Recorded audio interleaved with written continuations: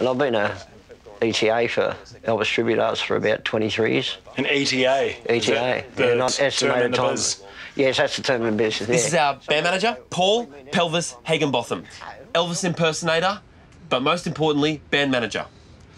Uh, Elvis Tribute Artist. Oh, my bad. Elvis tribute artist. Is it? ETA. I- I'm an Elvis tribute artist.